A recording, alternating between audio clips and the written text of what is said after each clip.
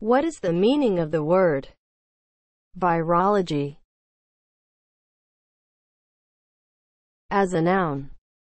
The branch of medical science that studies viruses and viral diseases. Virology is spelled V I R O L O G Y. Virology